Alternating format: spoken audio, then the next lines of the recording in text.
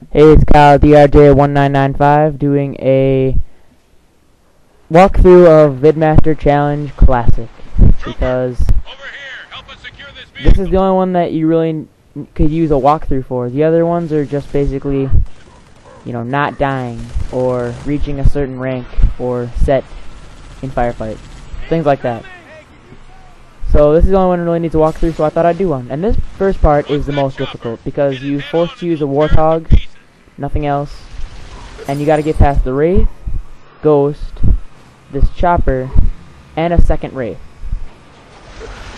So that's really difficult. But once you get that new intel data, you're in the clear. Now I kept going just to make sure that, you know, I wasn't gonna get shot in the back. But once you get that thing saying new intel, you're in the clear. They won't follow you any farther. So I hopped out here. At all of these gas station kind of things, you can get health packs, and there's one right there. I didn't really need one. Uh, but then there's also a ghost at most of them. In case, you, so you just grab the ghost, and from here on out, it's pretty much smooth sailing except for a few parts. You just boost through the rest of it.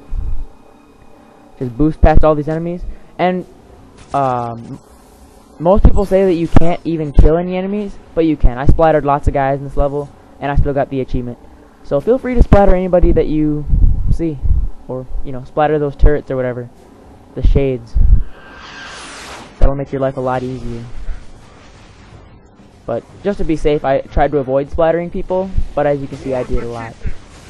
So, the other thing is that uh, right here, you can hide behind these cage things if your stamina is low, and then you can just pop out, run around this corner.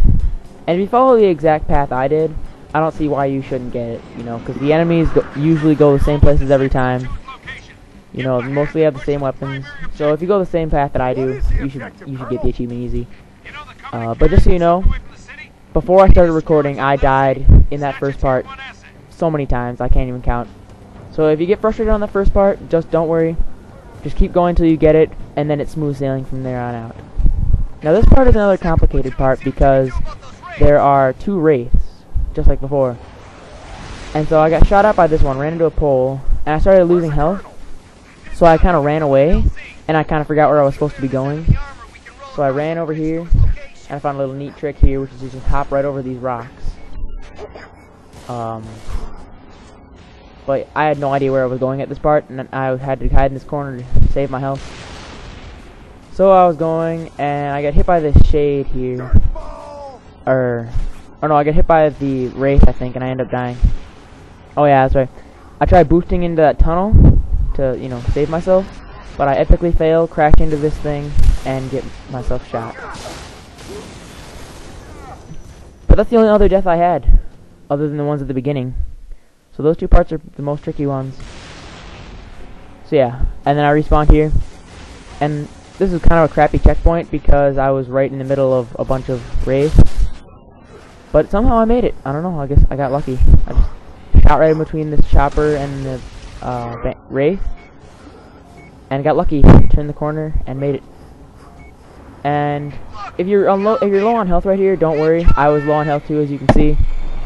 Uh, but there's health packs in this next, on the on the other side of the bridge. Lots of health packs, so you'll be fine.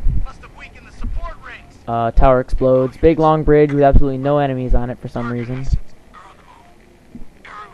Yeah, I hopped out. Had a little bit of trouble finding the health pack, as you can see. I kind of walked around for a second. Got a checkpoint, though. Uh, and there's a spare ghost if you need one. And looking around, where is it? Where is it? I thought it was over here, but it's by the door over here. So just keep that in mind, by the door. You'll find it. And once you get, and now, um, this should be easy. I mean, I really don't have many, too many tips other than just keep boosting with the ghost. Boost to a turn, turn and then boost again, like I like I do. This part, I've heard a lot of people have trouble with it, but I didn't have much trouble. As you can see, I don't lose any health at all.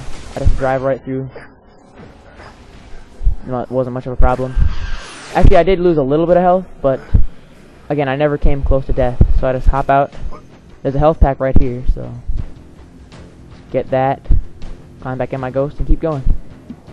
This next part up here, I don't know really if it's smarter to go left or right. I went left just because it was in the video I saw. Um, then I started getting shot, so I turned around back in here to take cover, which is probably the advantage to going left, is you can take cover back here, regain your stamina, and then just make a, you know, make a run for that uh, tunnel over there. Past the Wraith, unfortunately. But he didn't seem to give me much trouble. Lost a bit of health. Uh, up here, there's gonna be two brutes with brute shots. Now I missed that guy, but I hit this guy because you know brute shots. In case you haven't ever played multiplayer of Halo 3, they can take out a vehicle extremely fast. Uh, I mean, I've used a brute shot and just fired at a warthog or whatever. It it'll flip it every time. So once you get here, just boost across to there. You'll bounce right up, and you'll hit that hole, and you made it.